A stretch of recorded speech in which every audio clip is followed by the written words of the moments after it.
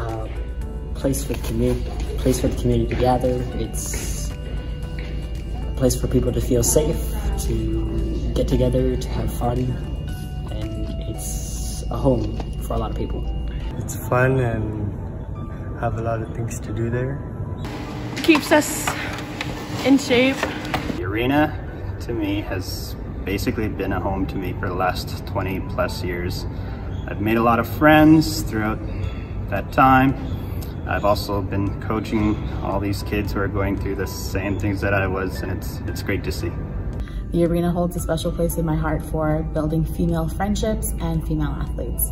Um, and it's been a meeting point for everything beyond just hockey and um, it, it really helps to uh, feel like home.